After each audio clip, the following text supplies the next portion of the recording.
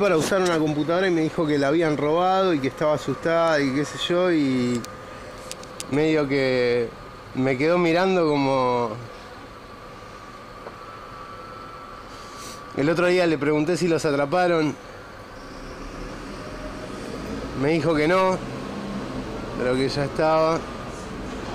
Pues es raro porque estás a la vuelta de la comisaría Sí, le digo, es la segunda vez me, me mirás como si fuese un delincuente.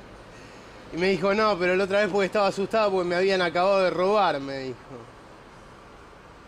O sea que es verdad, la robaron.